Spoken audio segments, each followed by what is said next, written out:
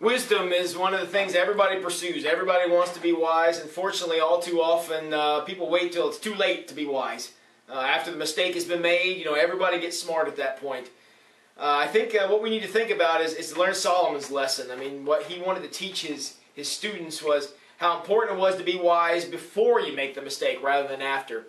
And what we want to talk about tonight is uh, just the opportunity we have to read God's Word and and experience along with the body of Christ and, and talk to people and mentors and friends and people who love us and learn from their mistakes and learn from their wisdom so we don't have to go out and make every mistake ourselves. We're able to be wise uh, before we mess things up.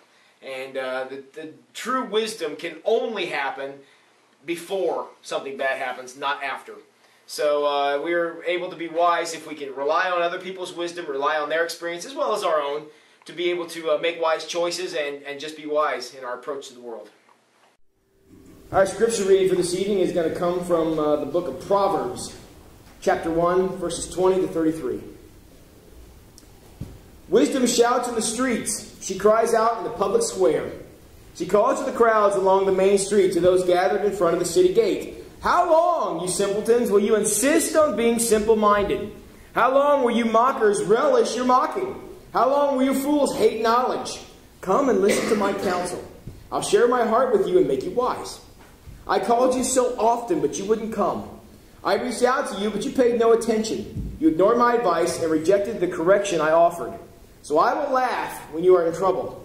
I will mock you when disaster overtakes you. When calamity overtakes you like a storm, when disaster engulfs you like a cyclone, and anguish and distress overwhelm you.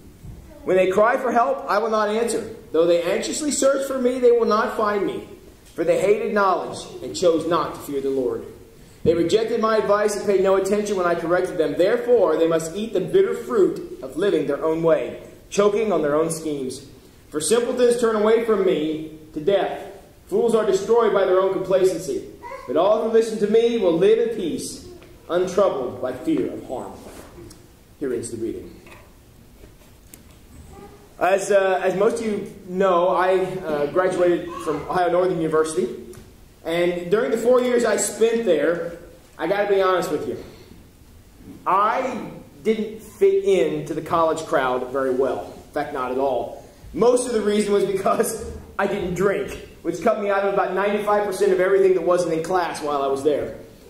All I did in college, and this is honestly, this is all I did. I went to class, I worked, I worked out at Kinghorn Center, and I ran laps around the Green Monster. Those of you are familiar with the Green Monster, ONU. Uh, that was it. And to be honest, there wasn't much about the uh, college life that really appealed to me in any way. And it didn't help that while I was there, I was a religion major at ONU. So I spent a lot of time around the philosophy students. And people who spend a lot of time in the philosophy department, well, they're a little different. and uh, since I didn't fit in any place else on campus, I spent a whole lot of time in the philosophy and religion department. And I occasionally got roped into these very deep theological discussions. And I tell you, there were a few times when I would get caught up in one of these uh, philosophy student arguments that would happen. And I would get caught up in these things, and they would be talking about something like, I got to read this off my page. They'd be talking about something like the hermeneutical implications of classic literature from the ancient Near East. And they'd be fighting about that, and I would be in the midst of a discussion thinking, you know, my lifelong stance against alcohol use of any kind may not have been that great of an idea. At that point, I could have used some help. But I can remember one particular day, the nerd squad caught me while I was walking by the lounge in the philosophy department, because you know that's where all the cool kids hang out, in the lounge in the philosophy department. And they wrote me in by a question. And the only reason I engaged in discussion is the question made me mad. I didn't agree with what they were deciding.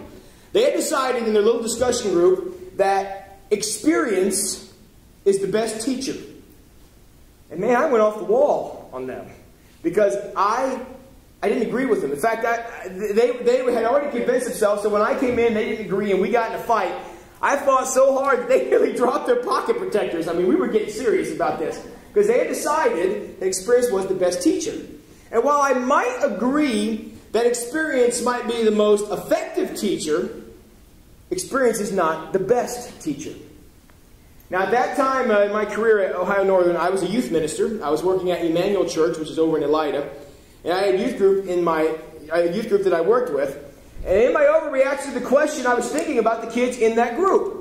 How many of the parents of those youth group kids I was working with, how many of those parents would want me to go back and say, hey guys, experience is the best teacher? You want to say that to a group of teenagers? How many of you parents here tonight want me to go to your kids and have the pastor tell them, hey guys, experience is the best teacher? Now, the argument was that the lessons that we learn from experience, they stick with us the longest. That I agree with. But I still don't agree that experience is the best way to learn. My argument to them is that it is much less painful to learn from other people than have to go learn on your own. I mean, let's, let's be honest. I don't need to fill up a trash bag with empty beer cans to know that alcohol is a parasite I don't want in my life. I don't have to stick a needle in my arm to know that drug abuse is wrong. I don't need to be abusive to other people to know that's not how I want to live my life. I don't need to experience those things because the proof is all around me. I don't need the added bonus of getting experience to know that these are dangerous activities. The best way for me to learn is to pay attention to hospital calls that I make that are alcohol related. And I can know for a fact that I don't want that in my life. And as I look at these people and I see a teenager scraped off the road and all these different things, I can look at this and say, I don't want to give my money to companies that produce things that cause this kind of stuff. And that's why I am against it. And I'll tell you, nothing breaks my heart worse than the scenario that King Solomon lays out in this passage I read to you from Proverbs. It happens time and time again. In my career, I see it all the time. People start seeking wisdom when it's too late. The time to do the wise thing has already passed. It's way behind you, and now you want to get smart, do the right thing. Man, I hate it when somebody starts looking for God after some awful life experience has taught them the error of their ways. All too often, when people start looking for God, it's because they have no other place to go but up. Now, finding God before you reach the end of a destructive road, friends, that's way better than going to the end of that road and having God be the only option you have left. Now, I'm not going to deny that God can still work when you're laying at the bottom. I don't deny that. God can still do his thing.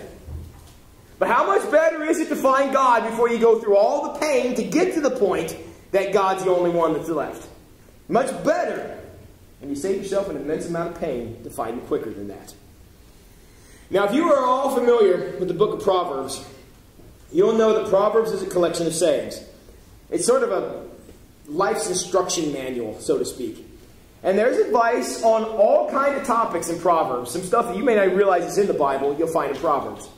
And there really is no rhyme or reason to the book. It's just a collection of sayings and wise teachings and good advice that's in there for us to read. And you'll find, if you go read the chapters in Proverbs, you'll find out that the advice that's in there is as applicable today as it was a couple of thousand years ago when Solomon recorded it. Now, as I've mentioned a couple times, most of the book is written by Solomon. There's a couple things toward the end that was written by somebody else. But most of it's written is attributed to Solomon. Now, I don't know if you knew this about Solomon.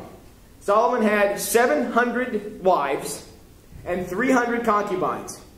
That probably means that Solomon had lots and lots of children. And it would be impossible for Solomon to even know all of his kids. Because if he even had one child for every 10 women that he was sexually connected to, that's still 100 kids. And chances are he had many more than that. So it's unlikely that Solomon was able to parent each child properly.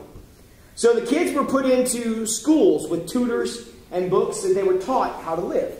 And Proverbs was a part of that training.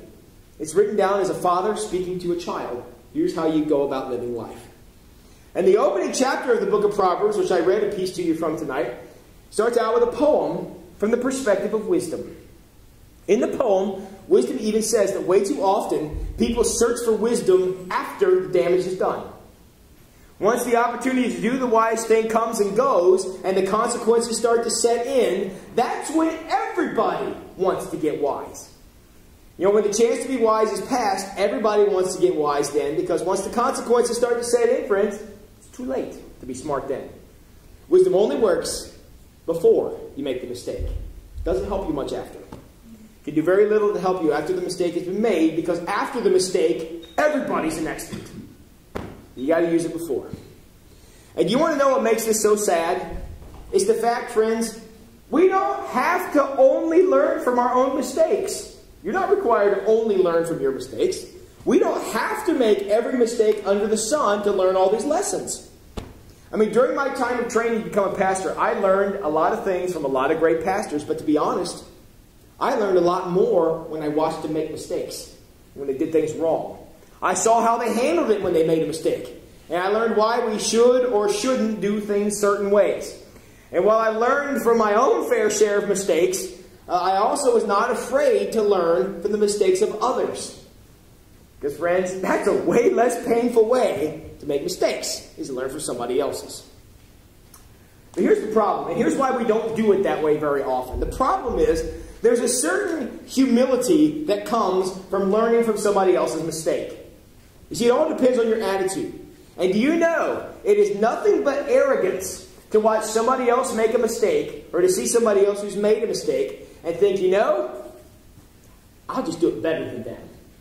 I'm not going to make the same error, or it's not going to blow up in my face. I, I saw them do it, they messed it up. I'm going to try the exact same thing, but when I do it, it's going to work. Friends, that's arrogance. You have to be willing not to do certain things because of the lessons you learn from somebody else. And to not learn from somebody else is to just be bullheaded and stubborn. And you will endure a whole lot of pain if you don't allow yourself to learn from somebody else's mistakes. You see, and there's another danger of learning only from your own experience. And this is the biggest danger we face in learning from experience. And while this may, this may sound crazy at first, go with me on this and hopefully it will become clear. You see, every one of us sees an experience differently. We all see an experience very differently. An experience that you may enjoy, think it was the funnest thing you ever did, and would go back and do it in a heartbeat, I may look at that and think that was the worst thing that ever happened to me. I don't enjoy that, I don't like that, whatever. We all see experiences very, very differently. My priorities, my interests are going to be different from yours. Therefore, my interpretation of experiences is also going to be very different from yours. What you see as a very positive experience, I might see as a very negative experience. And therefore, the lesson that we learn based on that particular experience is going to be different. Because we look at it differently because we're all different. That means it's quite possible that experience can teach you something, that your experience could possibly teach you something that's not 100% accurate. Let me explain. I've had plenty, I've had plenty of experiences in my career that would lead me to believe that I'm not a very good pastor. I've done it a whole bunch of times. I have had plenty of experiences that could have taught me that there's a lot of places that I don't belong.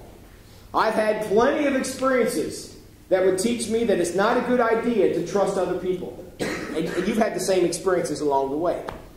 You know, we've all had plenty of experiences that teach us the nice guy always finishes last.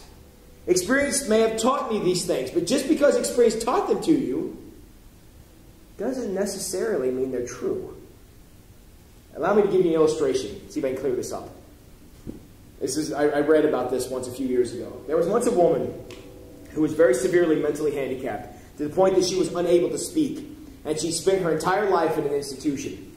Now, she was very, very docile, very nice, never had any problem, but all of a sudden, one day, she began to show some violent tendencies, lashing out at the staff, lashing out at other patients, which was not in her character at all. They'd never had this problem before in her life.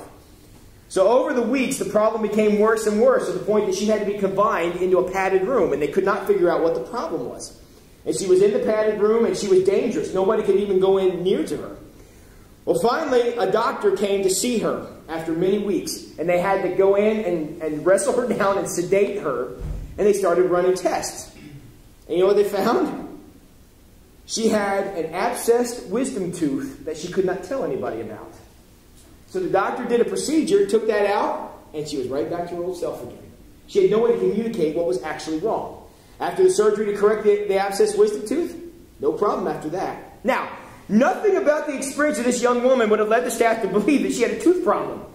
And, and that was causing her to act in insane ways. I'll admit, abscessed teeth are horrible, but they aren't normally associated with insanity along the way.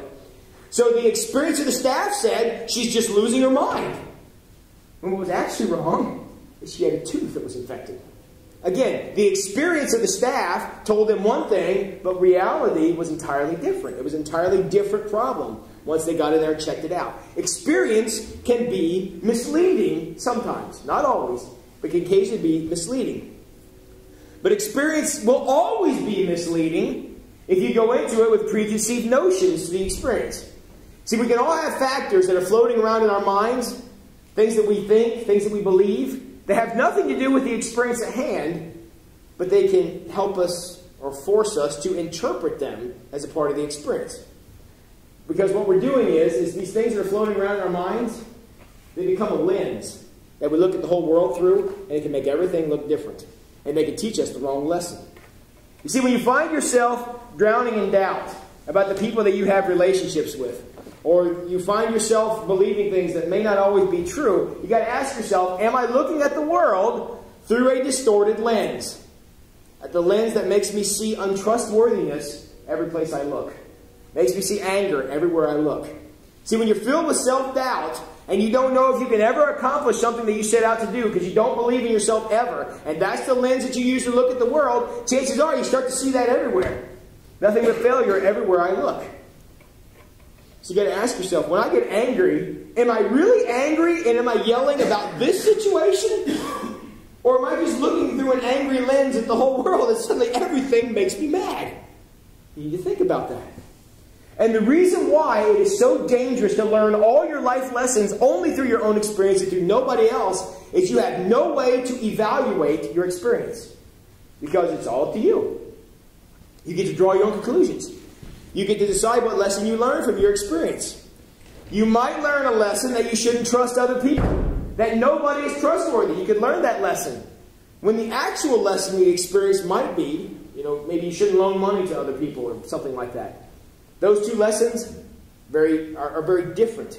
But based on the interpretation of the experience, you can learn that lesson from either one or the other.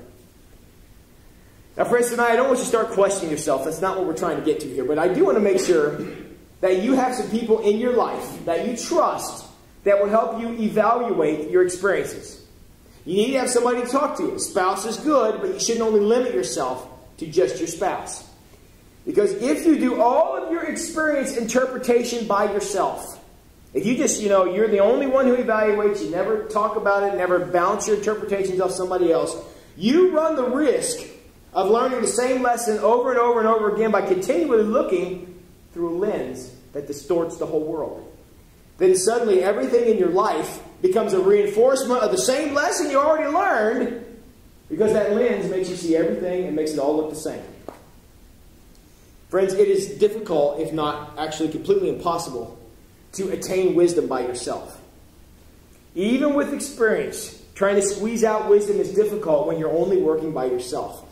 I strongly encourage you to find some people in your life that you trust and allow them to help you make a determination of what lesson you ought to learn based on whatever experience that you're having. Because the risk you run by figuring it all out by yourself is that you could possibly end up learning the wrong lesson. And that could be dangerous. Now, wisdom is out there. Wisdom is available to us. Solomon's teaching right here in this passage of Proverbs teaches us that. Wisdom is out there and we can have it. We can attain it. But, friends, there is no wisdom in doing it all by yourself. Don't be afraid to learn a lesson from somebody else that you trust. You know, they're going to be able to help you interpret experiences possibly from a different perspective. And they may be able to help you see that you have a lens that is distorting your whole world, making you learn lessons that have no wisdom in them at all. So, friends, don't be afraid. Don't be afraid to include others in your quest for wisdom. Those people that you trust, they might be the difference between making an error and attaining wisdom. And what those people who love you and the people that you ought to trust, what they do for you, is they help you question the lens through which you're seeing the world. Because your experience is going to give you a wisdom that you're going to look at the world through that lens. An outside person can help call you on that. If the lens you're looking through is causing everything to look the same, or maybe distorting things so it looks a different way, teaching you lessons you don't need to learn, somebody you trust can help you change the lens. But if your own experience and your own interpretation of your experience, if that's the only source of wisdom that you have, you run the danger at looking through the world through a lens that's going to distort everything to the point that you're not going to be able to get to wisdom. The world can look a whole lot different if you're looking at the world through the wrong lens. That's why experience is not always the best teacher. So, friends, thank God. Thank God for the people in our lives who can help us look at the world without the lens of bad experiences. And I invite you to think about how you see the world. Give some thought to that. How do you look at the world? What lens are you looking through? Because the world can look radically different depending on what lens you use. If you're looking through the lens of hate, if you're looking through the lens of anger, if you're looking through the lens of disappointment, if you're looking through despair, friends, those lenses can really color everything that you're trying to see through. Color the whole world, make it all look different than what it actually is. And those lenses can make certain choices appear wise when they really are not wise at all. That's why we need to have other people help keep us accountable and help us take an honest look at how we see the world and make sure it's accurate because the wrong lens can make everything look bad. So, friends, I want to close tonight with one final challenge. Along with the people who love you, and you've all got people who love you, I know that. Along with people who love you, I also invite you to compare the lens through which you see the world. I invite you to compare your lens, whatever it is that colors the world, whatever makes you see the world, whatever you're looking through to see and interpret the things that are going on around you. I invite you to hold that lens up to what we learn about in God's Word. How do those two things line up? Does the lens that you're looking at the world, does it line up with what we learn in the Bible? What Jesus teaches us and all these different things. Do they line up? Because if they don't, if you're allowing some other lens to color your entire world, you're going to have a really hard time attaining wisdom because everything's going to look bad or everything's going to look distorted. So, friends, you go from this place out in the world. I strongly encourage you, make sure your lens is clear. In Jesus' name, amen.